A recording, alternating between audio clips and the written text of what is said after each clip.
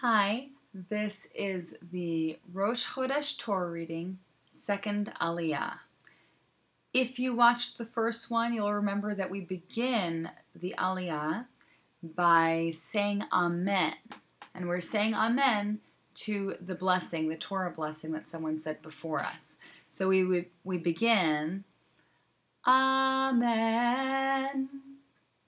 Ve'amarta lahem זה האישה אשר תקריבו לאדוני כבשים בני שנה תמימים שניים ליום או לתמיד את הכבש אחד תעשה בבוקר ואת הכבש השני תעשה בין הארבעים ועשירית האפה סולת למנחה בלולה, ושמן כתית רביעית ההיא.